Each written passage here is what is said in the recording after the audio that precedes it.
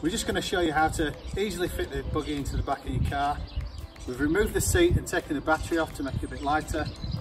First thing, just going to drop the handlebars down so it can go under the roof. We're just going to push it up the ramp. Firstly, disable the electromagnetic brake so we can go into freewheel mode and just push it nice and easily up the ramp into the back of the car.